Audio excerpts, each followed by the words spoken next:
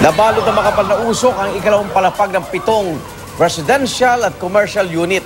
Sa gitna ng sunog na sumiklab bandang alas 5.30 ng hapon sa Maceda Street, Corner Espanya, sa Sampaloc, Maynila.